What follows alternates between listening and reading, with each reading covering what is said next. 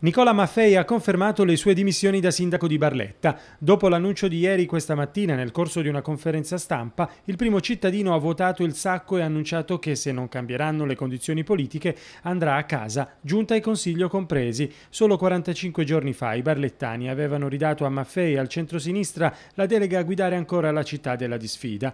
I nodi sono tutti interni al Partito Democratico e alla sfida tra i consiglieri regionali Filippo Caracciolo e Ruggero Mennea. Le due correnti dei democratici si contendono la presidenza del Consiglio Comunale. La maggioranza nella prima seduta non è riuscita a scegliere il numero uno dell'Assemblea, dividendosi tra Michele La Sala, vicino a Mennea, e Enzo Del Vecchio, uomo di Caracciolo. Maffei ha 20 giorni per ritirare le dimissioni consegnate oggi nelle mani del segretario comunale. Senza una svolta politica, l'impasse ha portato il sindaco a nominare una giunta provvisoria composta dai primi non eletti, Maffei confermerà le scelte annunciate.